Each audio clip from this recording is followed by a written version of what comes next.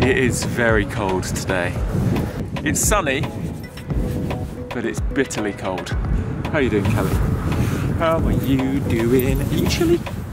So it's day 15 of my road trip across the US in my self-converted vintage electric camper van. And very late last night, we arrived in this RV park near a small town called Florence in Indiana. We drove from Nashville in Tennessee through Kentucky. I think we're gonna cross back into Kentucky and into Ohio today. And we're making great progress. Yesterday, we managed to drive 224 miles, totaling 2,444 miles of the 3,000 mile road trip.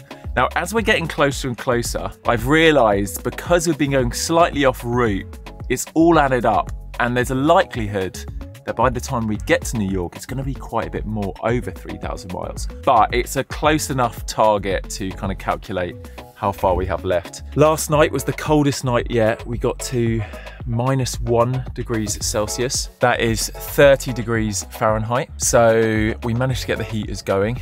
We had an electric blanket as well. And I think we managed to stay warm, just about. But it is very, very cold today.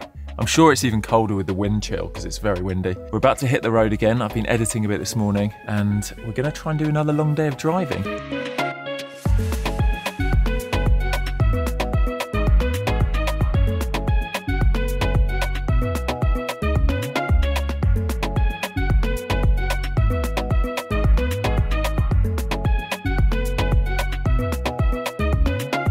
That's really annoying.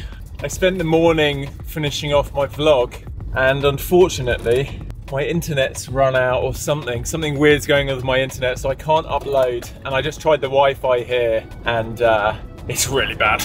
So the vlog is delayed another day. It's definitely uh, one of the most challenging parts of this trip, surprisingly.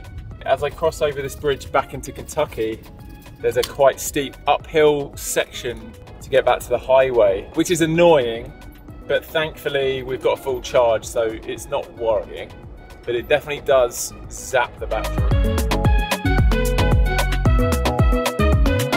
I razzed it up that hill because the van has got pretty amazing power. Went up a steep hill like 60 miles an hour. I don't think I'll regret it because we got plenty of charge to get to the next charger. The wind today is wild though. I don't know if you can hear it, but I'm just getting blown all over the place. Cincinnati, here we come. I have not been to Cincinnati. Cincinnati. Hey Siri, are there wolves in Kentucky? I thought I just saw a wolf that had been hit by a car on the side of the road, but according to Siri, wolves are very rare in Kentucky.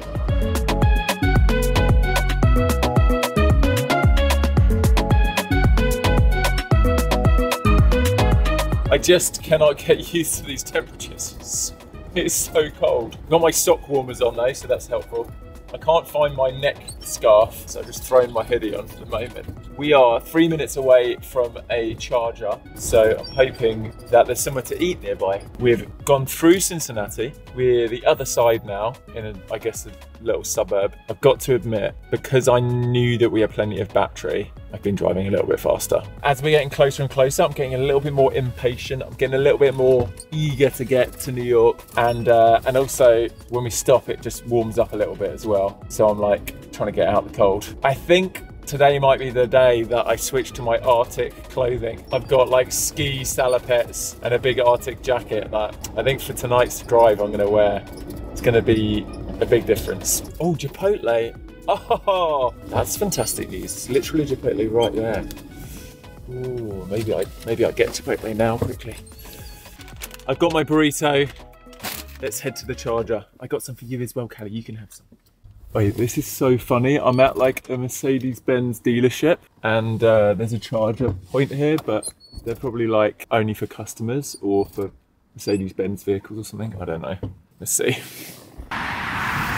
Plug in.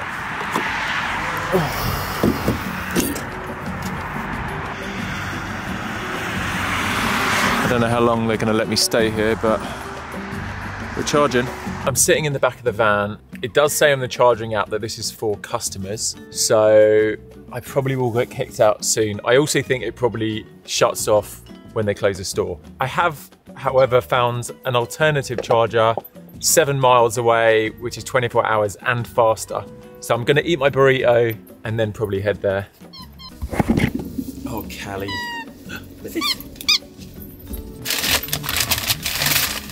She made my burrito so ridiculously big. Look at this. It's the size of my head.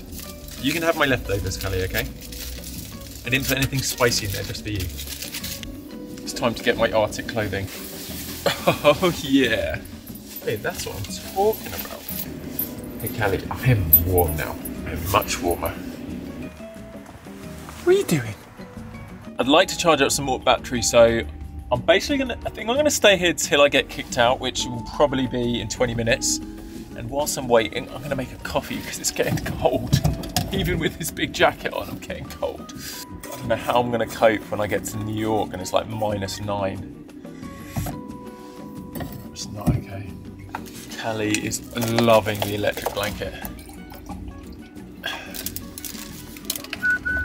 I've got to be honest, this trip has become way more kind of like survival mode than I had first imagined it would be. I knew it was going to be tough, but you know, there was all these other kind of challenges I wanted to set myself.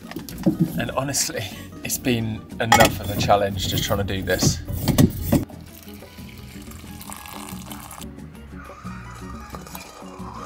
I'm gonna call this RV park and just see see what's going on.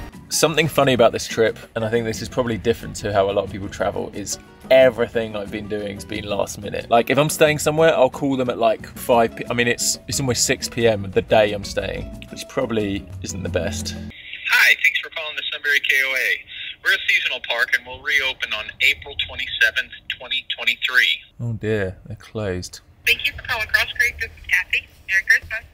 Hello, Merry Christmas. Um, I was wondering whether you had any availability for me to stop um, tonight just for one night uh, and get a 50 amp hookup. I'm pretty sure we do. I also might be coming in pretty late, so I didn't know what your policy was about kind of arriving late and kind of uh, paying in the morning. oh, or that, that's, that's fine. Uh, we have an online check-in form. Oh, that was lovely. I've got my RV park booked for tonight, and uh, she said when I arrive, they've got some cookies and hot cocoa I could come and get if I wanted. I don't have to get in super late though because because we didn't do a massive drive earlier. The battery, honestly, I could probably make it if I drove now. No one's asked me to move yet, and it looks like they've like shut up the. I think I might get away with staying here and just fully charging. I just got a message on my phone saying, oh, your car's not really drawing any electricity, it's probably fully charged. I checked and it's not. And then I noticed my LED lights were flashing underneath the car, which normally is a bad sign that the 12 volt battery's done something weird. And I've got a feeling that my 12 volt battery has died. So let me figure out, let's see if I can see what's going on. Okay, something, something's up, something weird is happening. Oh dear, I think the 12 volt battery might be dead. This is not what I needed. This is not what I needed. Hopefully, I've got enough juice in this battery pack to to juice me up. But I have been meaning to recharge this. Hmm. Not, I'm not incredibly happy with the fact that the charger's stopped working again. I wonder whether I've broken it trying to run, trying to run the inverter. I need to drive to Home Depot anyway to get some bits. So let's head there and see what see what we can do.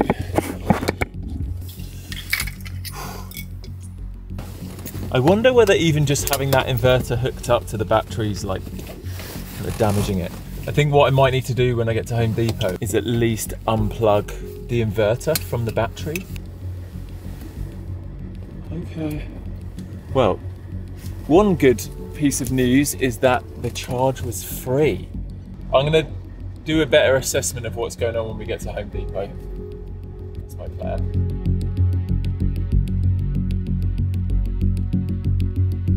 Okay, we have a situation. Although I've got a full battery, and I think this is what happened to me on the, I can't remember what night it was, but my 12 volt battery has died. So we have a major problem.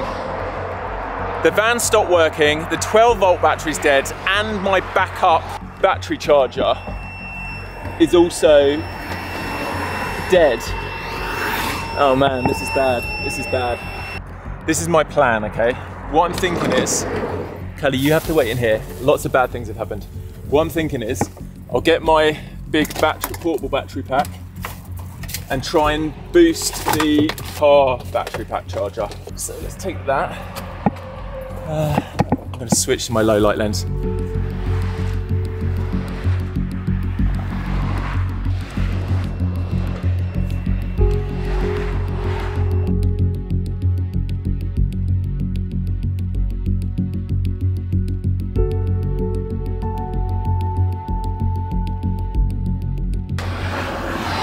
Okay, right. I've come up with a new plan because nothing I'm doing seems to be working and I'm kind of freaking out. I only need to drive like a mile, so what I might do is get the other battery that I thought was dead, switch it back over.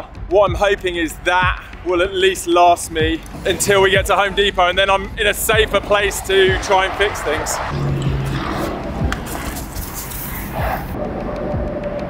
Oh no. I just straight up pulled the handle off my door.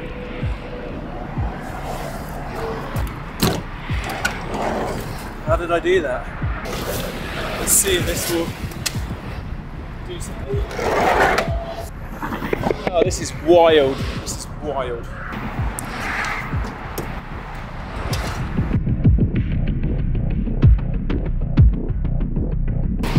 Right, I think I figured it out. The battery terminal was really loose and I think it just wasn't clamped on and wasn't charging.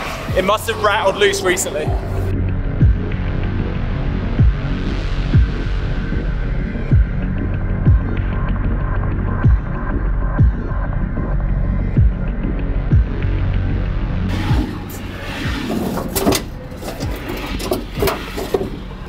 Bloody hell, I got a good feeling about this. I got a good feeling about this. Oh man, okay.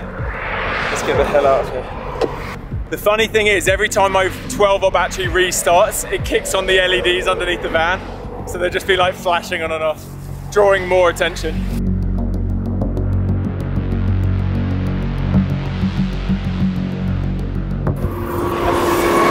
I think I can get out of here now.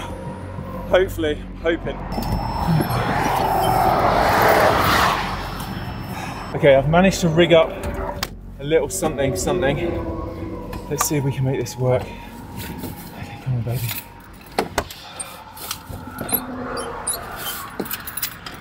Does that work? Yes, baby. We're in, we're in. Right, we have to get to Homes Depot before we run out of power. Before we run out of power. This is wild. This is freaking wild. I'm not even turning my headlights on because uh, I don't want to run the 12 volt battery down. Oh my gosh. Oh no, I've lost it again. Okay, wait, wait, wait, wait. Yeah, yeah, this should work. Okay. Bloody hell. So as soon as I turn the light on. Wow, man. Wow. At least we're kind of uh, off the main road now. Wow. So what I was doing was charging my 12 volt battery off the battery booster which is run out of charge whilst trying to simultaneously charge that from the lithium uh, battery bank. Oh my goodness, I'm half a mile away. Kind of just want to sit down somewhere safe and work on this. And this isn't really a safe spot. I'm like right on the road again. Oh. Man, I haven't had this much drama on the trip since like day four or something. Also, I've dressed up like I'm in the Arctic and then I've been running around and I'm literally sweating out now. I can hear something going crazy again. So that's plugged in. That's plugged in. And that is... That's not liking it. That is not liking it. Oh cool, that's charging with 12 volts. That's clever. So that's that's charging. That's charging this. This is then charging the 12 volt battery, which is giving me enough juice to run.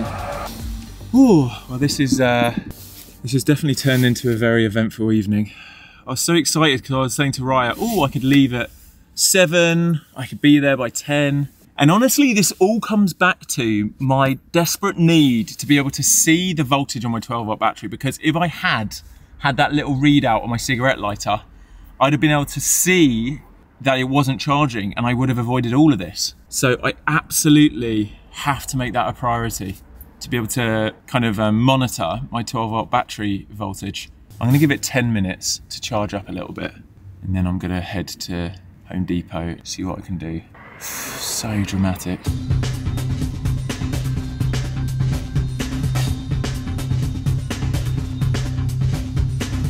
Oh no, oh no, come on.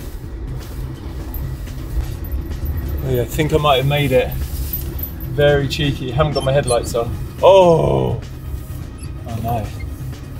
Okay, I've just, just ran out. No, this is bad. Okay. This is pretty bad. Wow, this is wild, man. I can see it. I can see Home Depot up there.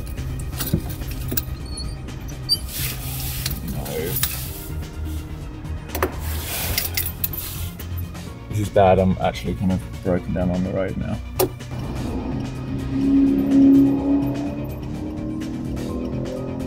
So bad. I charged up for a couple of minutes just to give me enough to get into the Home Depot parking lot. From this point, not really sure what to do, but I think we made it. Wow, that was quite a fiasco. At least we can sit and figure this out properly now. Okay, we're safe. We're not going to get hit by traffic. Right, great news. Without the pressure of being on the side of the road and kind of freaking out and loud cars going past, I managed to methodically go through all of the things that could be wrong. I checked all the fuses, I checked all of the fittings, and I did some tests of continuity between different cables and voltage running. And the thing that I thought had broken was the DC to DC converter that takes the 170 volts and converts it to 12 volts. I think when I was looking at it yesterday, maybe I jiggled it because the only thing I can figure out is that that connector had kind of dislodged and since yesterday it hasn't been charging the 12 volt battery. So I've just reconnected it, turned it on, and now it's charging the battery again. So I'm gonna go in, find some different bits in uh, Home Depot, and then, I don't know, maybe in like 45 minutes, see if when I disconnect it, the battery's charged up enough. This is gonna be the first night drive. I might actually be fully warm the whole time. I'm Put my sock warmers back on. It's saying 108 miles. It's not too bad. I think we've got that. I definitely feel more uh, confident than before we arrived here. Just got to hope that none of the wiring kind of gets knocked loose. Have a little energy drink. I think when I get into these situations where like everything's going wrong, I find it fairly easy to like zoom out and just logically start analyzing, you know, what the problem could be.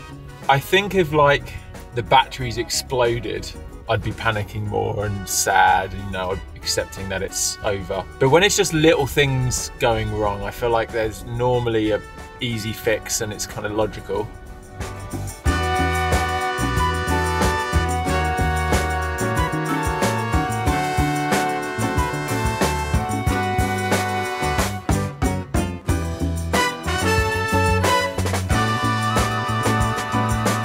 Minus one. This is the coldest temperature I've driven in, but thankfully, Arctic jacket, sock warmers, three layers on the bottom, four layers on the top, scarf, headband, gloves. I'm actually feeling pretty pretty warm and cozy. Callie's under three blankets, so I think she's good as well.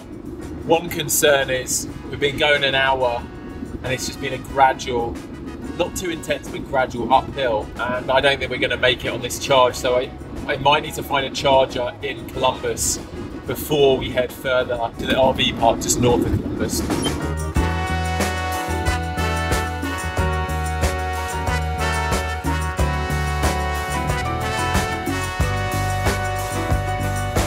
It's 11 p.m. I'm 24 miles away. I think I'm going to make it. It's I'm not 100% certain.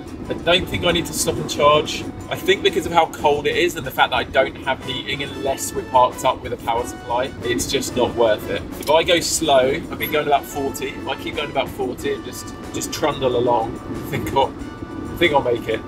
I'm guessing you're watching from the comfort of a warm place, but I just need to express to you that's not where I am right now. If I do this again, I think during the summer would be a wiser move. We're 11 miles away. It's going to be really, really close. I think I'm just going to have to go super slow. I'm hoping as I'm coming off the highway, we're going onto different roads, I'll be able to go even slower. If I can just trundle along at 30, might be okay. Oh, guys, I'm going to need to find a, I'm to find a charger. This, this ain't to work. Still got nine miles left. Little stretches of uphill. Gonna do me over. Not battery? What the heck? Whoa. Shit. If I can just get onto this slow road, 7.7 miles. Oh man, we are really cutting it fine. The camera batteries are dying too. Got like a couple of percent left on the camera batteries because it's just so cold and batteries just die in the cold as we're finding out. Glad I'm on these small roads though. It says we're four miles away. So close to running out, this is bad. Just trying to crawl along at like 30. We make it, it's going to be a miracle. I also think it looks like it's starting to snow. Yeah, Kelly, get get under there. Kelly, it's going to be too cold. 3.8 miles. We're at like 1% battery, or basically zero. And we're 2.6 miles away. so many cars just delayed behind me. 2.5 miles, come on man. Come on, we need a Christmas miracle. I think this is the trick. I'm gonna go like 25, maybe drop to 20 if I need to. Okay. 2.1 miles, one mile to go. Literally squeezing every last little tiny bit out of the battery. I can't do this again. This has to be the last kind of dramatic battery run out I have this trip. It's gotta be. 0.9 miles, 0.7, getting dangerously close. Camera battery's about to die. I can see the RV park entrance, 0.2 miles. Literally, oh my gosh, I think I made it. You made it. I made it. Oh my goodness. We freaking made it. We freaking made it.